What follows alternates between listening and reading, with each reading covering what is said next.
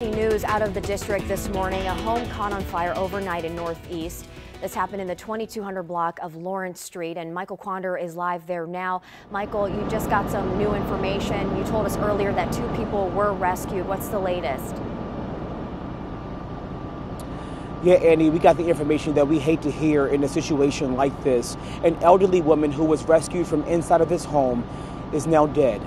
Uh, we can tell you that she and her adult son uh, had to be rescued this morning, uh, and this is still now an active uh, investigation. Uh, we can tell you that this all broke out just before 4 o'clock this morning, right here in the 2200 block of Lawrence Street in Northeast D.C. This is D.C.'s Brookland neighborhood. We're not too far away from the Brookland Metro Station, if you are familiar with this area.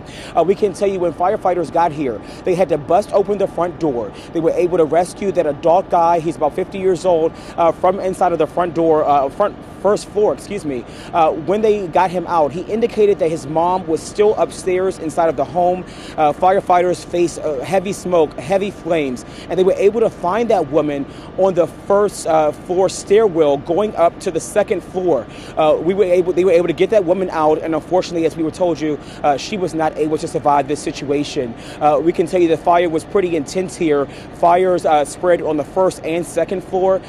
fire investigators are still inside right now uh, working to treat hotspots as well as fire investigators uh, here now trying to get to the bottom of exactly what happened here. So as fire investigators fi fi finish this investigation this morning, uh, again, they are now mourning the loss of a member of this community.